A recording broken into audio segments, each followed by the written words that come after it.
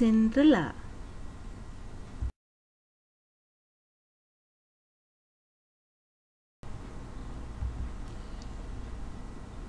Once upon a time, a girl named Cinderella lived with her stepmother and two stepsisters.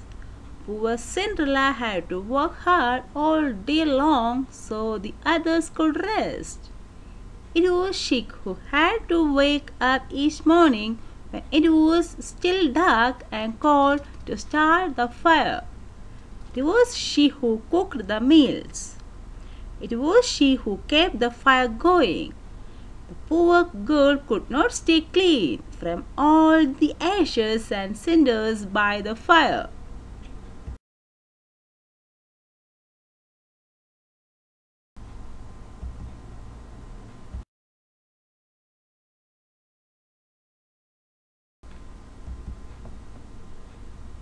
What a mess! Her two step sisters laughed, and that is why they called her Cinderella. One day, big news came to town. The king and queen were going to have a ball. It was time for the prince to find a bride. All of the young ladies in the land were invited to come. They were wild with joy. They would wear their most beautiful gown and fix their hair extra nice. Maybe the prince would like them.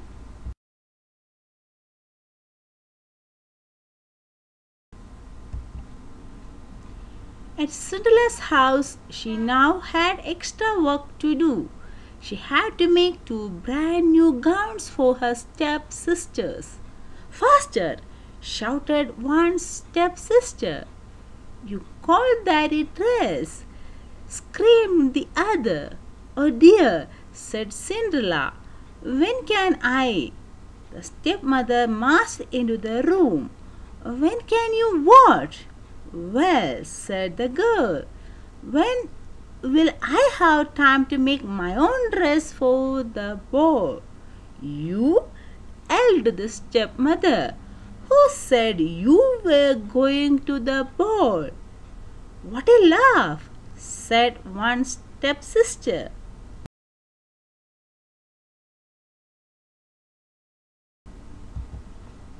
Such a mess! They pointed at Cinderella. All of them laughed. Cinderella said to herself, When they look at me, maybe they see a mess. But I am not that way, and if I could, I would go to the ball. Soon the time came for the stepmother and stepsisters to leave for the big party.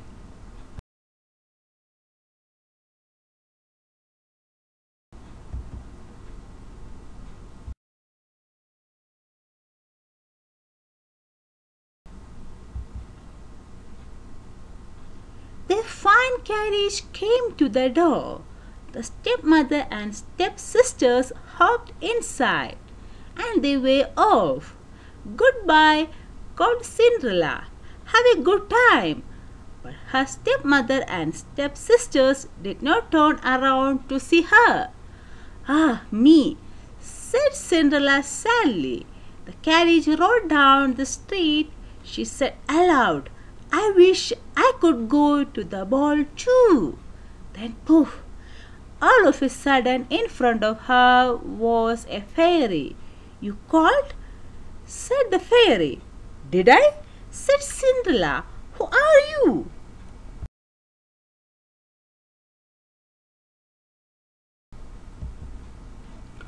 Why, your fairy godmother, of course. I know your wish, and I have come to grant it. But, said Cinderella, my wish is impossible. Excuse me, said the fairy, godmother in a huff. Did I not just show up out of thin air? Yes, you did, said Cinderella. Then let me be the one to say what is possible or not. Well, I think you know I want to go to the ball too. She looked down at her dirty clothes. But look at me.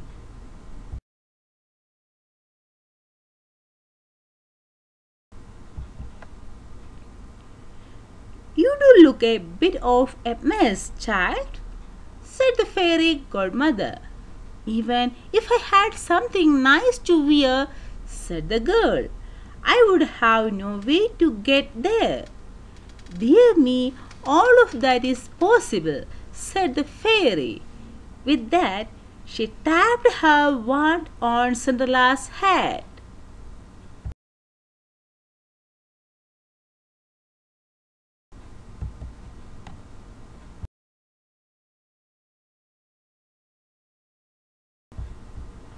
At once, Cinderella was all clean. She was dressed in a beautiful blue gown. Her hair was set up high on her head inside a golden band. This is wonderful, said Cinderella. Who said I was done? said the fairy. Godmother, she tapped her wand again. At once a beautiful carriage came to be with a driver and four white horses.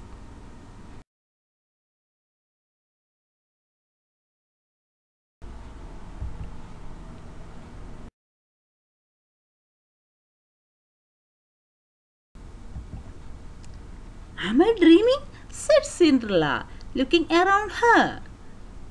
It is as real as real can be, said the fairy. Godmother, but there is one thing you must know.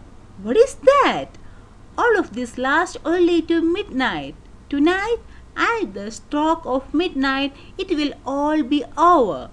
Everything will go back to how it was before. Then I must be sure to leave the ball before midnight, said Cinderella. Good idea, said the fairy godmother. She stepped back. My work is done and with that the fairy godmother was gone.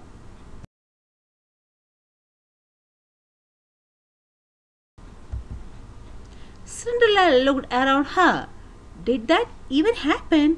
But there she stood in a fine gown and with a golden band in her hair, and there were her driver and four horses before her waiting. Coming, called the driver. She stepped into the carriage and they were off.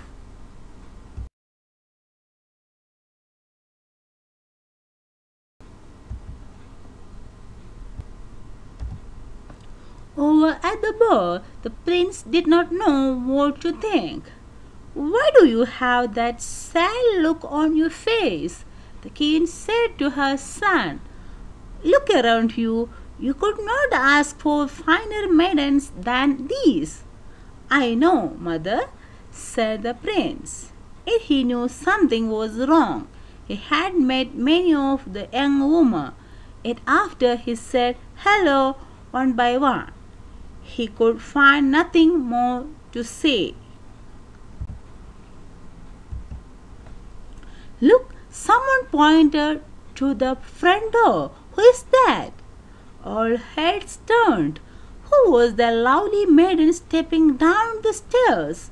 She held her head tall and looked as if she belonged, but no one knew her.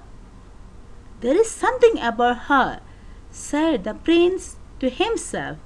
I will ask her to dance. And he walked over to Cinderella.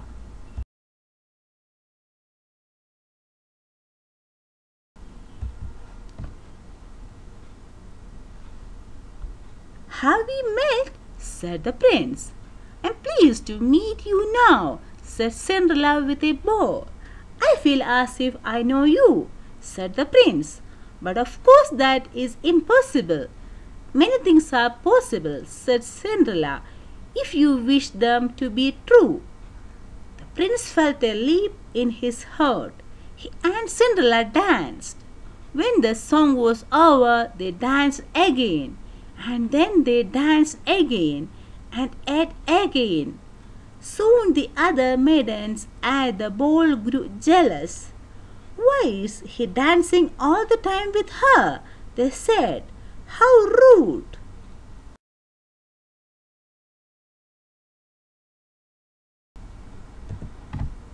But all the prince could see was Cinderella They laughed and talked and they danced some more.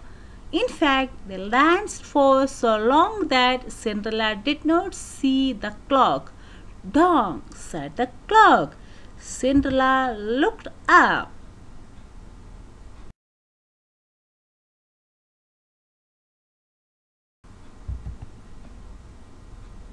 Dong went the clock again. She looked up again. Oh my! she cried out. It is almost midnight. Dong rang the clock. Why does that matter? said the prince. Dong called the clock. I must go, said Cinderella. Dong went the clock. But we just met, said the prince. Why leave now? Dong rang the clock. I must go, said Cinderella. She ran to the steps.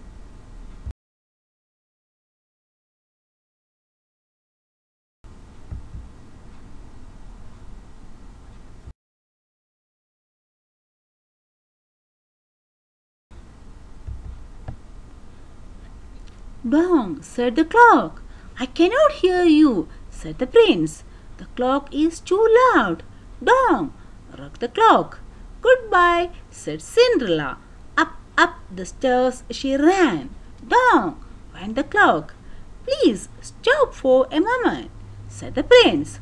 Oh dear, she said, as one glass slipper fell off her foot on the stair. But Cinderella kept running up.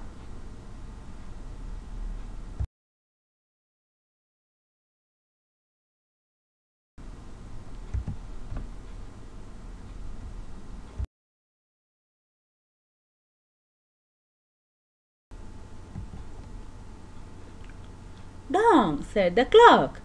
Please wait a moment, said the prince. Dong, rang the clock. Goodbye, Cinderella turned one last time. Then she rushed out the door. Dong, the clock was quiet. It was midnight. Wait, called the prince. He picked up her glass slipper and raced out the door. He looked around but could not see her blue dress anywhere. This is all I have left from her, he said, looking down at the glass slipper. He saw that it was made in a special way to fit a foot like none other. Somewhere there is the other glass slipper, he said, and when I find it, I will find her too. Then I will ask her to be my bride.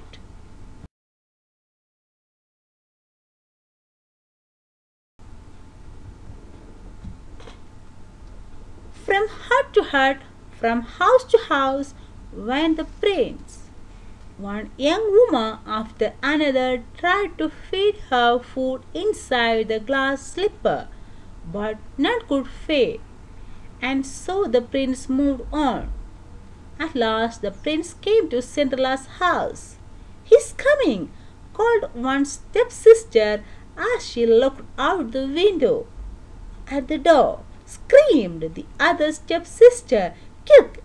yelled the stepmother. Get ready! One of you must be the one to fit your food in that slipper, no matter what.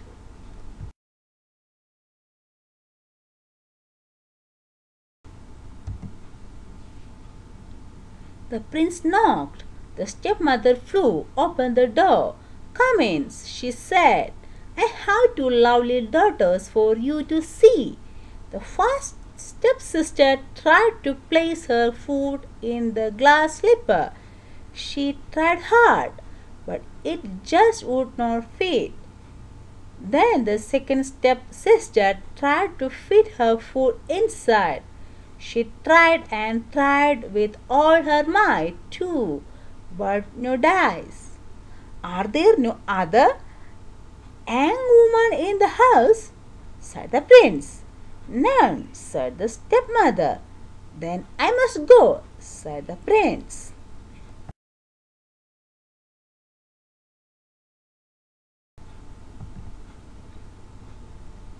Maybe there is one more, said Cinderella, stepping into the room. I thought you said there were no other young women here, said the prince. None who matter, said the stepmother in a hiss. Come here, said the prince.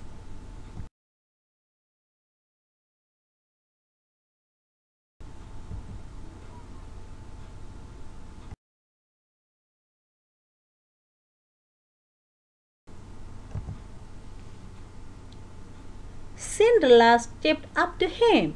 The prince got down on one knee and tried the glass slipper on her foot. It fit perfectly. Then from her pocket, Cinderella took out something. It was the other glass slipper. I knew it, he cried. You are the one. What? shouted his stepsister. Not her, screamed the other stepsister. This cannot be, yelled the stepmother. But it was too late. The prince knew that Cinderella was the one. He looked into her eyes. He did not see the cinders in her hair or the ashes on her face.